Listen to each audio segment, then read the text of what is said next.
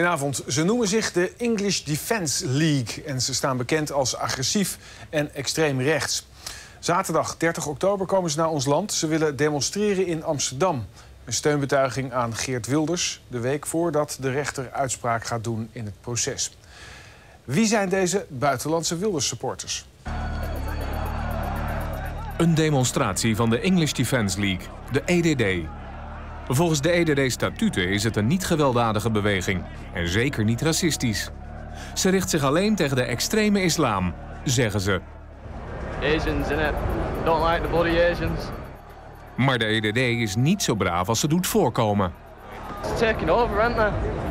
They need knocking down a peg, don't they? Taking over what? Everywhere.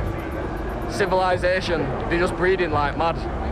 God bless every single person in this country of all religions, creeds, and cultures. And you know what? Even God bless the Muslims. They'll need it for when they're burning in fucking hell. Waar komt de EDD vandaan? En wat wil ze? 10 maart 2009. Na hun stationering in Irak keert het Royal Anglian Regiment terug naar hun standplaats in het Britse Luton. Maar een warm onthaal krijgen ze niet. Radicale moslims demonstreren tegen de troepen. The people who come back from the front line in Iraq on behalf of the British and the Americans are not heroes, not in any sense of the word. You don't go and commit atrocities, occupy someone's land, kill men, women, and children who are absolutely no threat at all to the British government or the British public, and then have a parade and pretend that they're heroes. Onmiddellijk ontstaat er een tegenbeweging in Luton, de English Defence League. Het blijkt een magneet te zijn voor hooligans, rechtsextremisten en andere avonturiers. Wat hen bindt? Hun haat tegen de islam. Op 23 januari van dit jaar verzamelen aanhangers zich in het stadje Stoke-on-Trent. Vanwege de EDL's slechte reputatie is de politie massaal aanwezig.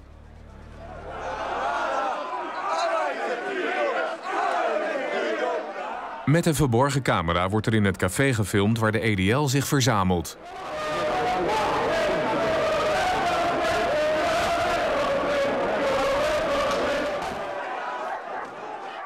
En al snel wordt buiten de pub de confrontatie gezocht. Tientallen railschoppers worden gearresteerd.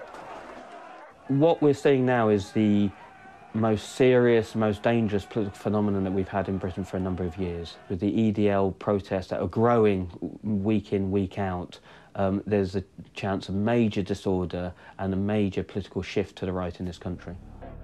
Afgelopen maart demonstreert de EDL in het centrum van Londen. En niet zonder reden. Geert Wilders is in Londen om zijn film Fitna te vertonen. De EDL ziet Wilders als het grote voorbeeld.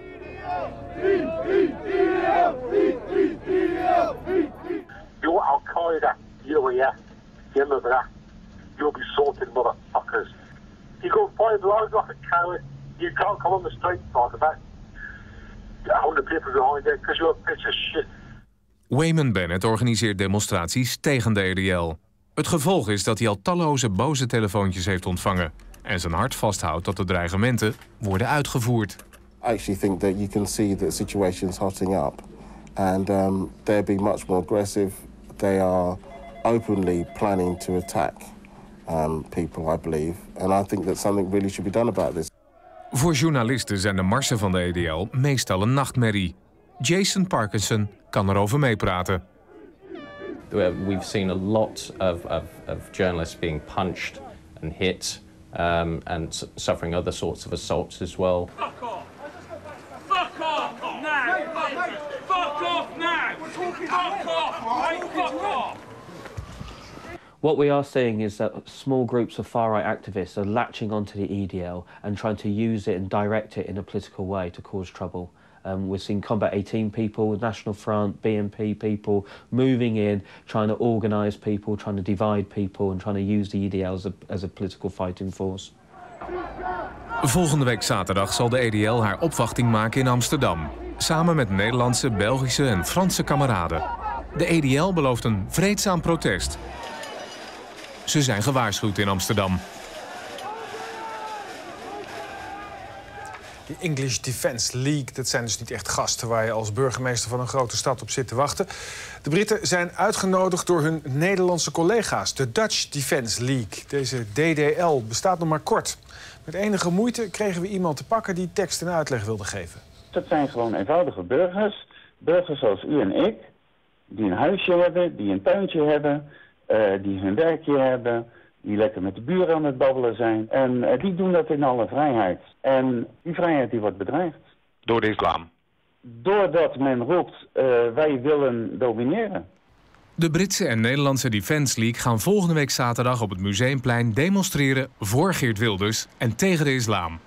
Linksradicale bewegingen zullen er ook zijn. Wij zijn van mening dat een uh, uh, bestrijden van extreemrechts moet gebeuren daar waar extreemrechts zich manifesteert.